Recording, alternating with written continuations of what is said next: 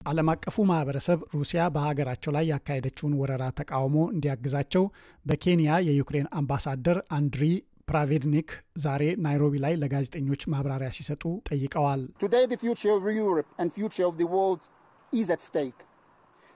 ዛሬ የአውሮፓ መጻኢ ዕጣና የዓለም ዕጣ አደጋ ላይ ናቸው። ዓለም አቀፉ ማኅበረሰብ በሩሲያ ላይ አውዳሚ ማዕቀቦችን ያለ አንዳች መዘግየት ተግባራዊ እንዲያደርግ ዩክሬን ዛሬ ጥሪ ታሰማለች። ይሁን እንጂ በሩሲያ ወረራ ላይ የአፍሪካ መንግስታት ያሉት ምንም ነገር የለም። በተባበሩት መንግስታት ድርጅት የኬንያ አምባሳደር ማርቲን ኪማኒ ብቻ የሩሲያ ኃይሎች ወደ ዩክሬን ከመዘልቃቸው ከሶስት ቀናት በፊት ባለፈው ሰኞ የወረራውን ሀሳብ አውግዘው ተናግረዋል። ኬንያ እንዲህ አይነቱን በኃይል ከመገፋፋት የሚመነጭ የገነነ ፍላጎት ትቃወማለች። ከሞቱ ኢምፓየሮች ፍንጥርጣሪዎች የምናደርገውን ማገገም ወደ አዳዲስ የበላይነት ስሜትና ጭቆና መልሶ በማይዘፍቀን ሁኔታ ማጠናቀቅ አለብን።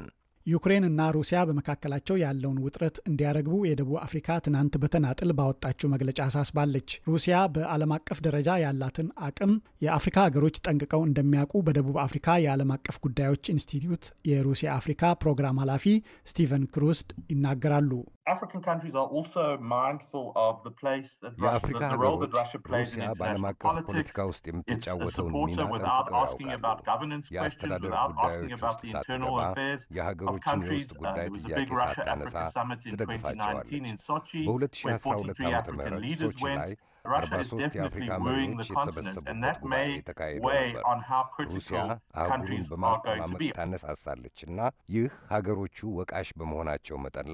ተጽዕኖ ይኖረዋል። ሆኖም የአፍሪካ አገሮች ድንበሮችን በኃይል የመለዋወጥ ጉዳይ እምብዛም አይጥማቸውም።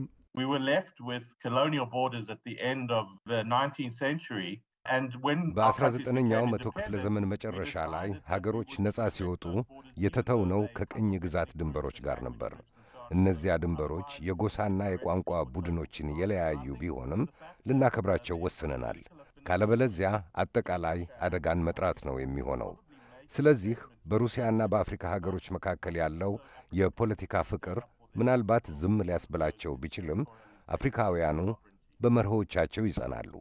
ከነዛ መርሆች መካከል ደግሞ የግዛት ጥብቅነትና ሉዓላዊነት አንዱ ነው። የኬንያው አምባሳደር በመንግስታቱ ድርጅት መድረክ ላይ የተናገሯቸው ቃላት አገሪቱ ከሞስኮቭ ጋር ባላት ግንኙነት ላይ ጫና መፍጠራቸውን ነገር እንደሚጠራጠሩ የዓለም አቀፍ ግንኙነቶች ኤክስፐርቱ ኪትሲሶ ሳብላ አመልክተዋል። ሩሲያ ይህንን አባባል ከዩናይትድ ስቴትስ ወይም ከሌላ ከማንም እንደተነገሩ የተለመዱ ቃላት ሁሉ ቆጥራ ጣል ታደርገዋለች። ማድረግ የሚፈልጉትን ትክክል ነው ብለው የሚያምኑበትን በማድረግ ይቀጥላሉ።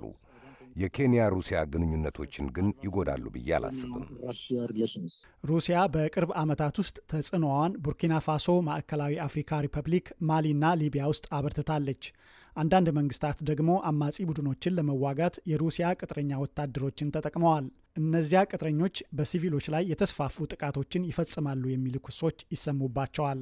የሩሲያ መንግስት ግን ከቅጥረኞቹ ጋር ምንም ግንኙነት እንደሌለው ይናገራል።